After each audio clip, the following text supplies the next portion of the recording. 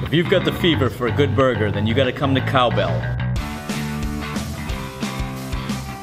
You can choose your patty steak, all natural, grass fed, wagyu, bison, chicken, turkey, salmon.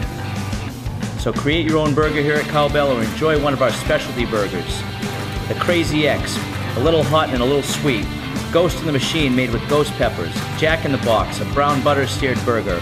And of course, anything made with bacon. Well, we came together, uh, first of all, Alex and I are both Greek, and Alex was running a baseball team in Old Orchard Beach. And uh, we hit it off, so we decided to, to jump in this venue. Tyler is my son, and I'm very proud to, to bring him aboard as he grows through the ranks and uh, learns the restaurant business. We do a great job, or try to do a great job, connecting with the community. We were put into the situation, kind of rekindling the fire in downtown Biddeford as well. We've been very fortunate over the last few months that we've been open to connect with the community. In addition to our focus on 25 local crafts, we also offer a lot of Maine micro distilled products, some of which are, are distilled right here in Biddeford, Maine.